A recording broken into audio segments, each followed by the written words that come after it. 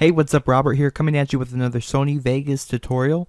And in this tutorial, I'm going to show you how to add a little bit of a color correction to your footage here in Vegas. So let's get started.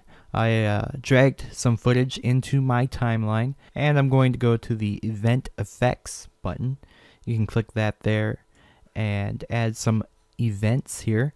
I'm going to add a Sony color curves as well as a Sony color corrector click OK. And there are various color tools that you can use. There's the HSL adjust, which is the hue saturation levels, and uh, another color corrector secondary that you can use, and even a, a color balancer and so on. So, um, you know, you can use all kinds of various methods to get the look you're looking for. So let's get started. I'm going to go to the color curves here. And mainly the first thing I do on every video is I just create that S here in, in the color curves. Bring that up and then bring this down. And you can adjust these as needed. You can see the top one it makes it uh, brighter, brings out the contrast, and this one darkens it a little bit.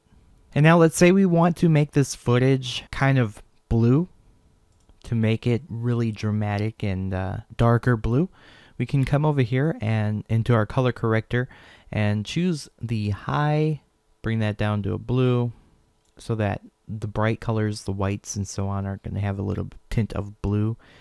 The mid colors, bring that down to blue, and the dark colors as well. Bring that down to blue.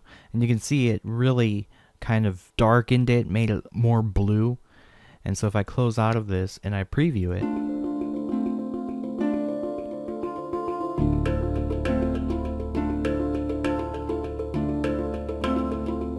you can see it's a little bit sharper and uh, the blue is added. So I'm going to actually split my screen so you can see the before and after shots here.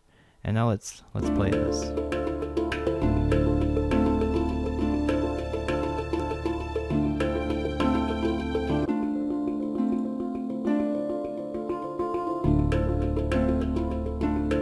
So there's that. Now we can take it even a step further and add a little bit of a film grain here to it.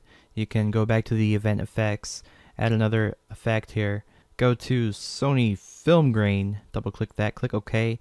Let's bring the grain down a little bit and bring the granularity down all the way and just bring this down at around 0.0500.